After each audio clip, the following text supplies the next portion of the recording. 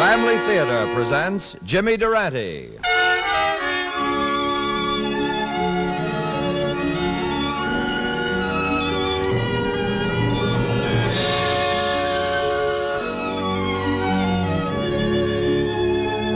From Hollywood, the Mutual Network, in cooperation with Family Theater, presents First Law of the Jungle. And now, here is your host, Jimmy Durante.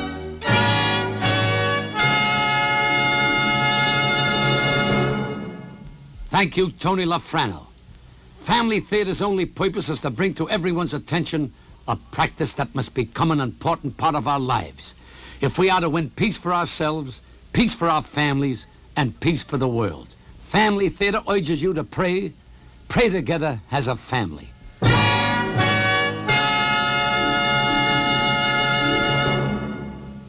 Now to our transcribed drama, First Law of the Jungle, featuring Herb Ellis as Bill.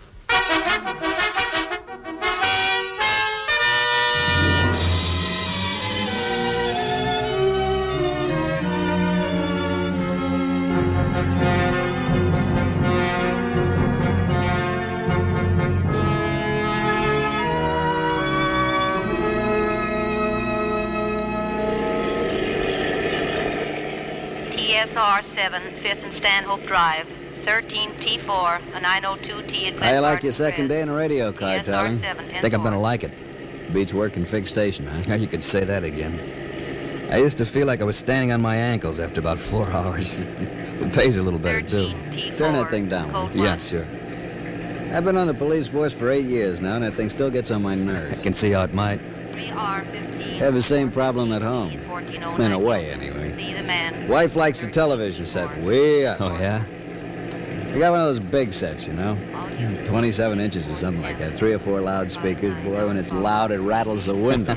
Yeah, it was Fourth and Hampton. it's over on the other side of town. Hey, look at that. Guy must be doing 50. Let's find out.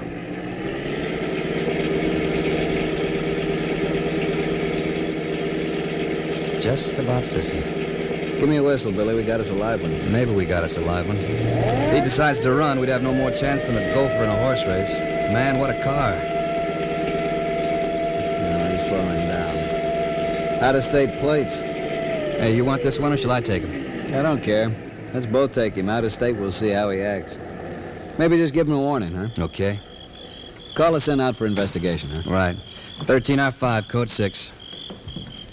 13R5, 104. All units on frequency 7, stand by. You want to bet on what this heap cost? 4,500? I was looking at one just like it the other day. It's closer to six. Wow. Well, sir, driving a little fast, weren't you? Was I? I didn't realize it if I was, officer. I'm sorry. May I see your driver's license? Oh, sure. Uh, got it right. Yeah. Been in the state long, sir? Uh, matter of fact, I was just passing through, officer. Beautiful state, though. I wish I could stay more than the couple of days I got. Now, this seems to be in order, Mr. Uh, Dorn. That's right, Dorns. Now, you know you were going 50 miles an hour in a 35-mile zone. I suppose I wasn't watching the speedometer. You know how it is in a car like this. Power steering, power everything else. Speed just kind of sneaks up on you. I don't really think I was going at an unsafe speed. Power brakes, and there don't seem to be many cars on the road at this time of the night. I do hope you're not going to give me a ticket. You're only going to be in town till about noon tomorrow. Oh, sir, in view of the fact... I don't know, sir. The law applies to everybody. I don't know if we can make any exceptions. It certainly would be an inconvenience to me. Frank, we Take it easy, boy.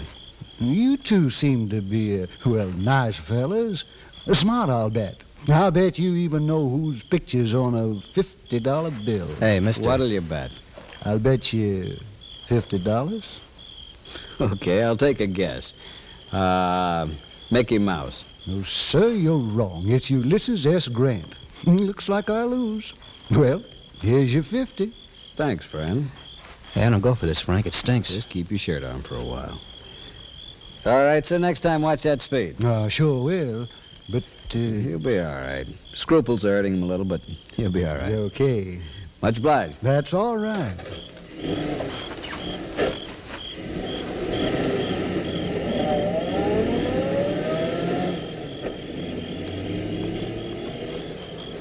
Well, say it. Frank, if you need money for some reason, you can always get it from the police emergency Oh, fund. knock it off, will you? Well, that was a bribe. Look, didn't we agree that we were just going to warn him? It was a bet. Frank, Listen, you've been a cop for a little over two months. I've been a cop for more than eight years. Well, you've been at it a little longer. Wait till you've tried to raise a family on a policeman's pay. Get him the things that other people have. And then if you still feel like shooting off your mouth about somebody trying to make an extra buck, maybe I'll listen to you. Somehow I think you won't. just don't you make book on it, Frank. 5R16, 1412, Columbine, 919. I guess I better call in. Tell them we're back in service, huh? I'm in charge, Tyler. I'll tell you when to call in.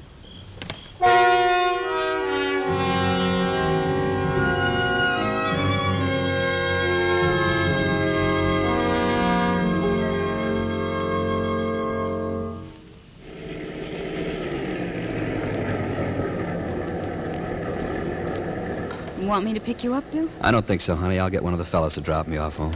Don't forget your lunch. Oh, yeah. And, Bill, Yeah. about Frank Gibbons and that bride business. What about it? I'm sorry we had a fight about it. But to me, it, well, it just doesn't seem as wrong as it does to you. I see it as, well, as car payment or a home payment. And as long as it doesn't hurt anyone. Mildred, when a public servant accepts a bribe, it's. It's a betrayal of the public trust. It's a criminal act. All right, all right, maybe it is. Maybe. To you, a thing's got to be either good or bad, no middle ground. Honey, a policeman's job. I know, I know. I'm sorry I brought it up. Let's just forget about it, huh? That's fine with me. But sometimes, Bill, you're just like a kid with a brand new junior G-Man badge. You just had to say that, didn't you? Well, I'll see you later. Sure you don't want me to pick you up? I'll get home all right. Okay. Bye. Bye.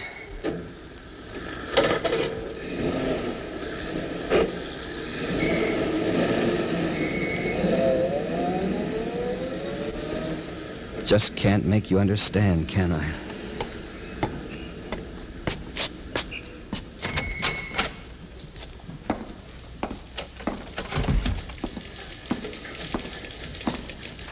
Tyler. Frank, Just taking a look at the bulletin board. you got time? About uh, 20 to 4. Plenty of time yet. Oh, hey, there's something here for you. What? Hmm. Officer William F. Tyler will present himself at the captain's office before reporting for duty. Hey, I wonder what for. Your guess is as good as mine. Well, I better go check out the car. Yeah, I'll see you later, Frank. Yeah, sure. Before reporting for duty. Okay, Captain, if that's the way you want it.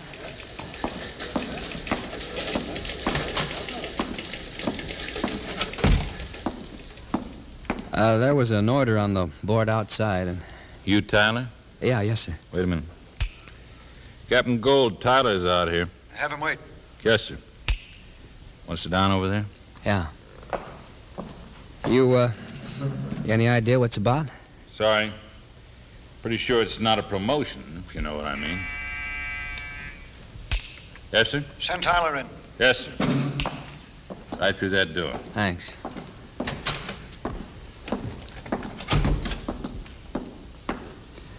Officer Tyler reporting, sir. Sit down, Tyler.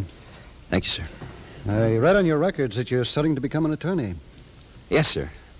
I'll be eligible to take the bar examination in two years if I pass the baby bar next month. I only bring it up because of the possibility that you're spending too much time on your studies and not enough on your job. Well, I don't think so, sir. Mm-hmm. You were in uh, 13R5 last night with Officer Frank Gibbons? Yes, sir. My second night in a radio car. Fixed station before that. Yes, sir. Traffic, 5th and Garrison Avenue. I know. I've got your records right here. You uh, get along all right with Gibbons? Well, yes, sir. Everything all right at home? The wife's finding it a little hard to get along on a policeman's pay. We've only been married a year. She'll be okay. Hmm.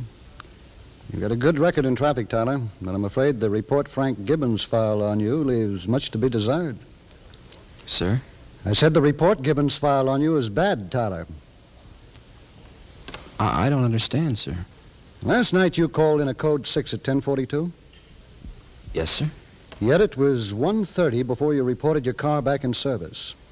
According to Gibbons' report, your code 6 was to issue a warning to a speeder. He further reports that while he was talking to the speeder, he ordered you to report your car back in service. Th- that's not true, sir. Also, according to this report, you're not too familiar with radio code. Captain, I've been listening to police calls since I was a kid in high school.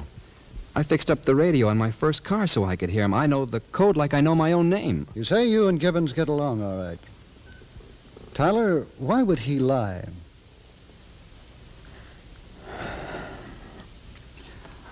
Well, sir, Yes? I don't know, Captain. Tyler, you have no explanation for this other than saying Gibbons lied. No, sir. Yet you can't give me any reason why he should. No, sir. Even if I did, sir, wouldn't it sound as if I were lying to protect myself? Hmm, it probably would, Tyler. Does this mean I go back to traffic, Captain? Gibbons asked for it, or at least that you be transferred to some other car. And he's almost eight years seniority on you. But I try to be a fair-minded man, and you need the money, so I'm not going to do it. Besides, I've got too much to do this afternoon to have to juggle the Manning table. Go back to your car, Tyler. Yes, sir. Thank you, sir. Oh, Tyler, Yes, sir. If I get another report like this and you still try to defend yourself the same way, you'd better be able to back it up. You'd better have proof. Yes, sir.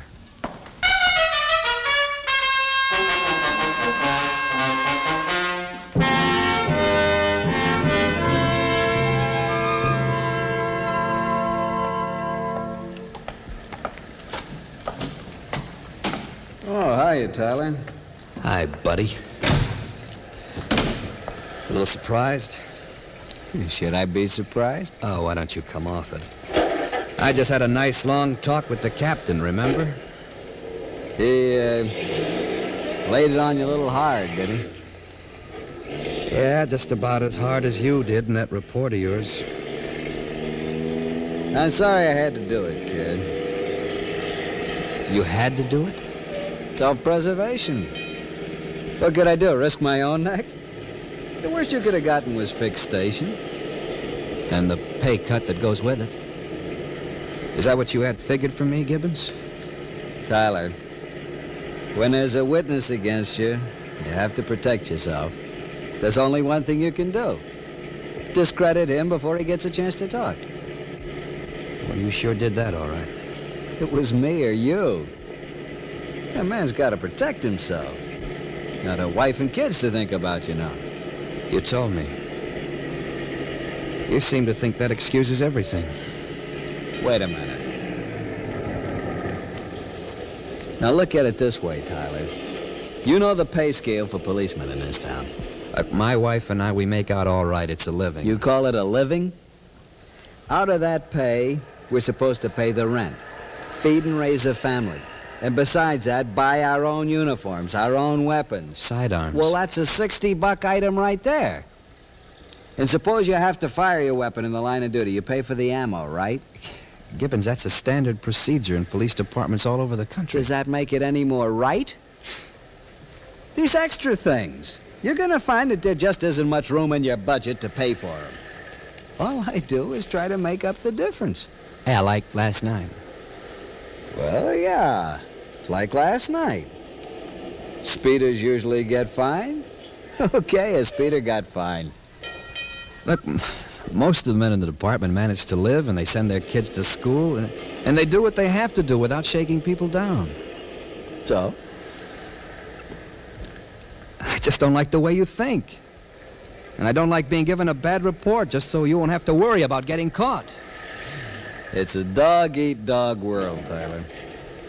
I- I'm sorry you almost got hurt, but I had to protect myself. You'll come around. Or you'll see to it that I'm out of this car and back on fixed station. Could be.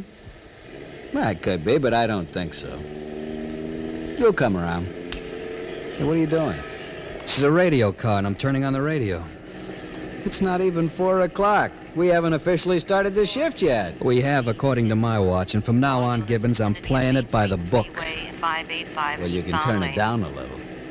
Regarding the 585, M42 will handle. You got any kids, Tyler? Three, No, not yet. 12, You wait. 12, Well, you got a couple in school. Maybe a few hospital bills. Then we'll see how well you play it by the book. In fact, you strike me as a pretty smart fellow, Tyler. I'll bet it won't take you more than a week. I'll give you a week.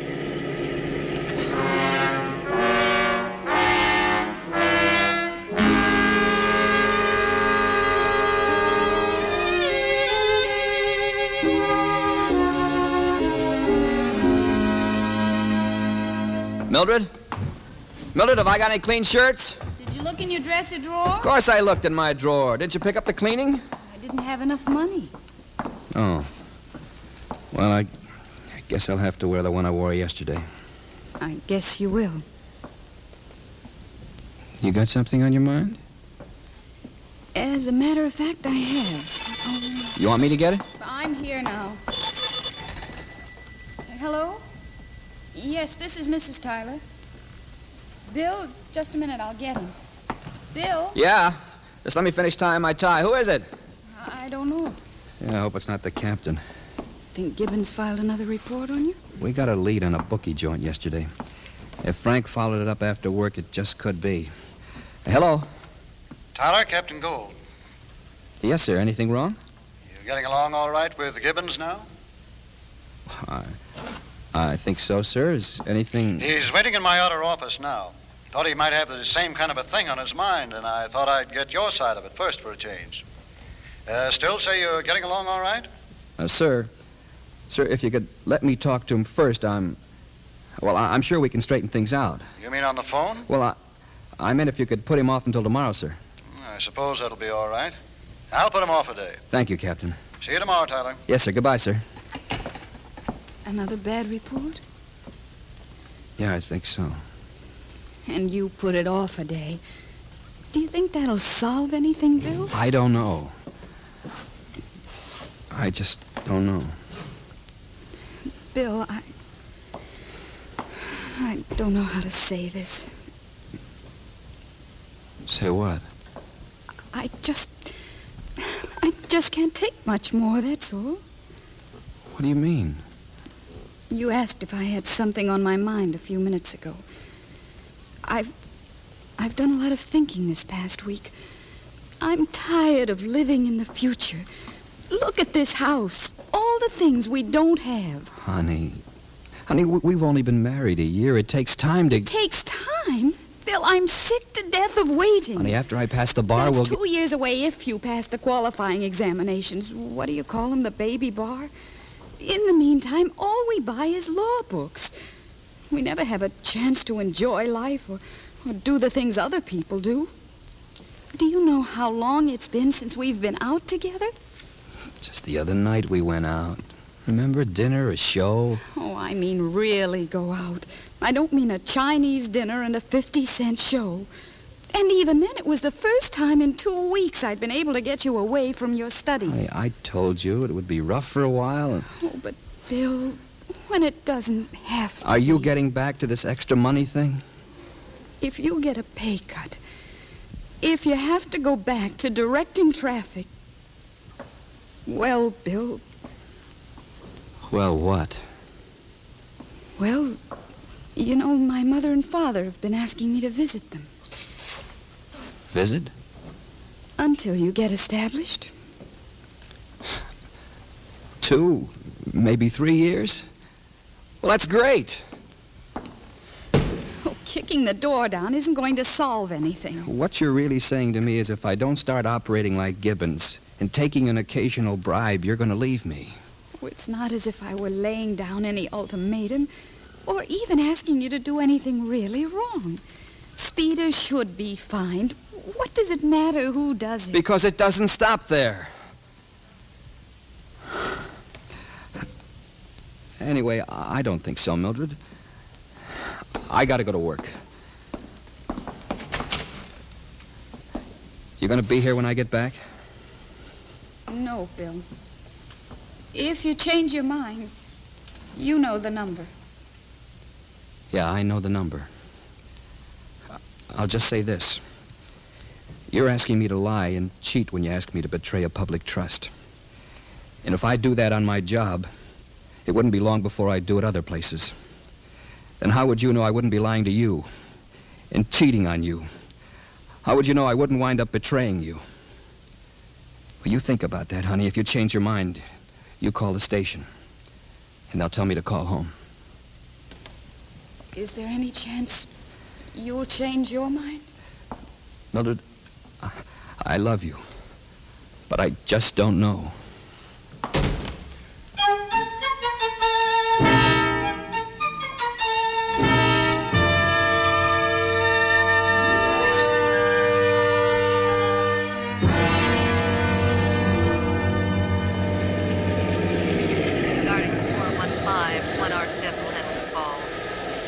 I said it'd be about a week, but you know something, Billy Boy? I didn't really believe it. And I guess I really didn't have much choice. You handled the captain pretty well. You got a hat on you. Thanks. Horse parlor upstairs? It's not really a horse parlor. One guy, two phones, he books bets. Sounds small, but from the way he talked last night, we ought to be able to do pretty well. You want to call us in a code 7? Yeah. 13R5, code 6. 13R5, 10-4. Hey, I said a code 7, out to eat. Why do it on our own time? you got a point there.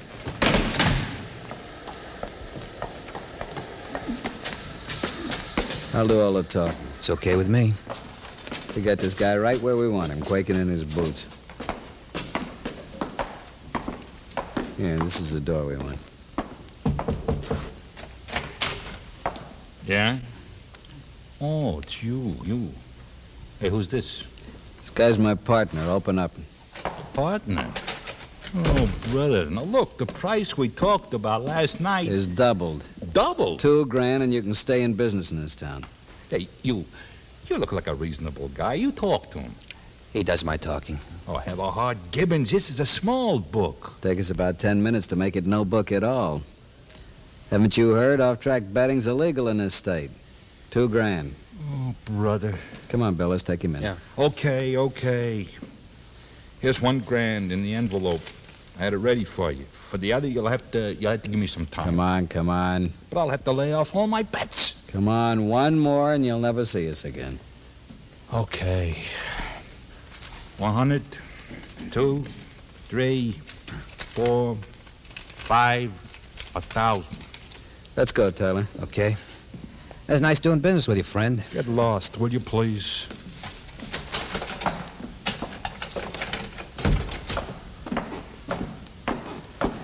You did that like an old hand, Frank. I'm sorry I gave you such a rough time, Billy boy. So am I, Frank. So am I. Self-preservation, you know? Yeah, first law. Hmm? First law of the jungle. Maybe I better count the money in the envelope. Played with the idea, and I almost bought it. But you were right in a way about the self-preservation. You've got to save yourself. You know that, Frank? Even if it costs you everything you have. What you have against what you are. Is it all there? Yeah, $2,000. Okay, Frank, hand it over. Hand it up. Hey, why the gun, Billy boy? It's a pinch, Frank. A pinch? You'll never make it stick. I'm a law student, Frank. I think it'll stick, all right. Look, take it. Take it all. Man, that's $2,000. Are you going to give me that story about your wife and kids all over again, Frank? Bill, what'll happen to him? You told me it's a dog-eat-dog world, Frank. I just don't want to be eaten. 13R5, this is Officer Tyler. 906 300 block on Fallbrook. 10-4, 13R5. All units vicinity of 300 906. from Fallbrook 906. Officer in need of assistance. 10-4, Kind of fits you, doesn't it, Frank? Regarding the 906, 7R2 will handle the call. Hello, Tyler. Captain? I just heard your call. Been following you. Following me? Why, sir? Gibbons, really. I've had my eye on him for a long time now. What did I do wrong? You were just playing on the wrong team, Gibbons. I'll take your prisoner, Tyler. When your assistant gets here, you can close up that book upstairs. Then everything will be cleared away, huh? 13R5. Officer Tyler, call your home. 13R5. Officer Tyler, call your home. 13R5, 10-4. No trouble, I hope. Oh, little, sir. But I think it's at a point where I can handle it now.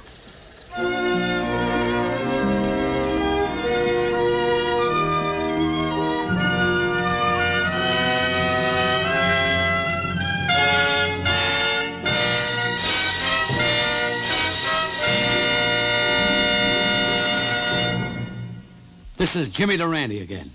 You know, if there's one guy who makes my blood boil, it's the guy who wants you to think that Christmas is only the time when Santa Claus comes instead of what it is, the birthday of the Son of God. He's the guy who tries to hide Easter under the bunnies and the colored eggs and tries to make you think of Thanksgiving as only the day for eating turkey. That guy really gets my nose out of joint. And you know why? Because he's spoiling our holidays. He's making us forget what they're really for. Take Thanksgiving, for instance. To my way of thinking, Thanksgiving is about the greatest national holiday anybody ever thought up. It's the day for thanking Almighty God for the nice things he's done for you. You don't need a turkey and all the trimmings or a football game to watch to keep Thanksgiving well. All you need is a memory to remember all the friends God has given you, the country he gave you to live in, and all the blessings we take for granted the other 364 days of the year. It's nice to have a Thanksgiving dinner, but I think you keep Thanksgiving a whole lot better if you take time out to pray, to kneel down with your family and pray to God, telling him how grateful you are for the things he's given you and for what he's done for you. And when you do that, you're really celebrating Thanksgiving the way it ought to be celebrated. And when you say your Thanksgiving prayers, do it as a family. For the family that prays together stays together. More things are wrought by prayer than this world dreams of.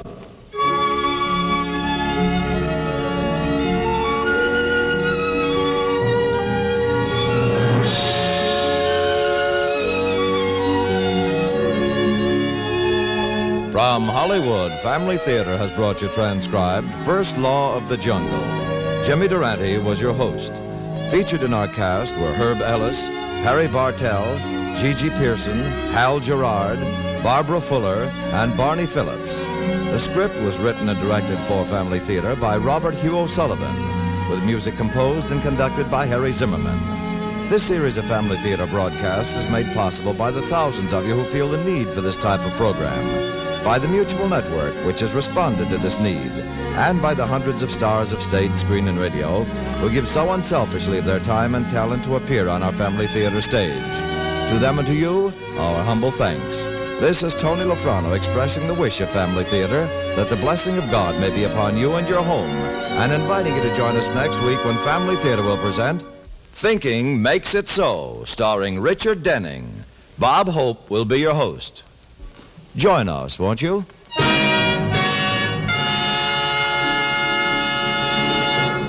Family Theater is broadcast throughout the world and originates in the Hollywood studios of the world's largest network. This is Mutual, the radio network for all America.